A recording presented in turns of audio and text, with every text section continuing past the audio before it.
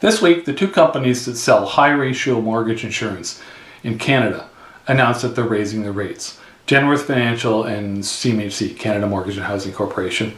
And this is in response to those companies being told by their governing body that they have to build a bigger pool of cash in case of more defaults. So right now we're in a bit of a boom here. I don't know what they're anticipating, but they're telling CMHC and Genworth build up your pile of money to pay out default mortgages. Mortgage default insurance, you have to purchase it if you put less than 20% down on a house.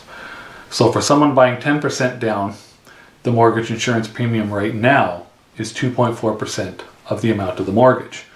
After March 17, 2017, that's going up to 3.1% of the amount that you borrow. An example is of a homeowner buyer buying a house in Barrie for $500,000. They're going to put 10% down, they're going to have a mortgage for $450,000. Right now, the insurance premium on that $450,000 will be $10,800, 2.4%.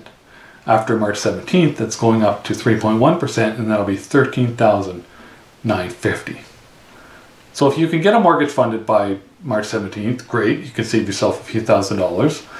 It's all blended into the amount of the mortgage over time. So your mortgage payment's going to go up a few bucks a month, probably no more than $5 a month. But if you can save yourself a few thousand dollars, do it. Because it's just going to a government or a bank or whatever, CMHC or Genworth, better in your pocket.